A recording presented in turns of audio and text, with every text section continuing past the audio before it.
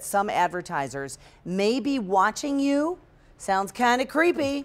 That's why we have our tech expert, Scott Schaefer from Blade Technology Inc., to sort it all out. Now, this is for Android users only. Right. What in the world's going on? Well, it's actually very interesting. What happens is, is there's certain apps, they found 234 of them on the uh, Google Play Store, that sit there and they use the microphone and they listen for ultrasonic beacons that humans can't hear. I don't know what that means. what that means is, let's say, let's say I have a, an app for a, a, a restaurant. Okay. Okay. And I'm walking past the restaurant. Okay. The phone could hear an ultrasonic beacon coming from the restaurant and say, "Hey, we've got a special today. Come on in." You could do that. So it'll pop up on your phone. Potentially, the Uh, phone's listening oh. to this, and then also while you're sitting at home watching TV, they can listen to tones coming from different commercials and be able to say, okay, that person's watching our commercial right now. Over time, they can collect information and find out more about Got you. it. So there are 234 of Yes, these apps that they know of. Do we have a choice in the matter, Android users? Yes, you do, and here's how. Okay. You have to be careful about what permissions you give your apps. Okay. Every time you install an app, it always asks, uh, do you want to, it's going to have access to your camera, your microphone, and all these things.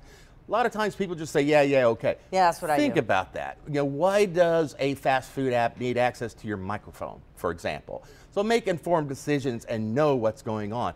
There could be some good things too. They can also track you. Let's say you go to a department store and uh, you're walking around the different areas of the department store. They could track you and see your behavior as you move from department to department. Like. I stopped off at DVD players and yeah, yeah, yeah. And then they could say, okay, well, she, Randi happened to spend extra time in the DVD section today, and what did she buy? So they'd match that up with your purchase behavior, and then they kind of start creating good marketing data. I see. Yeah. I, I, okay, I guess it's smart. Some people won't like it, I'm sure. Yes. Is this only for Androids or is it other devices too? The technology could be used everywhere. Yeah. Uh, it could be used on computers or anything else. Right now, it's just we're just looking at Android. There's 234 of them, and of that, only two apps actually tell you up front we're going to be tracking you using ultrasound. Who are they? Uh, they're actually one app is built for uh, department stores, and then another one I'm not really sure what that one does. Okay, so in the, just just when you go to download an app and it says, "Can we do your photos, your this?" Just say no to all of it, Oh, right? Well, as much as yeah, try to turn. You can always go back if it hinders the app's performance or it doesn't give you what you want. You can always go back and add that permission in.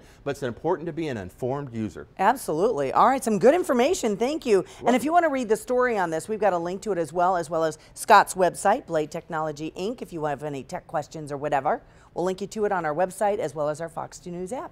Thank you very much, sir. My pleasure. All right, we're going to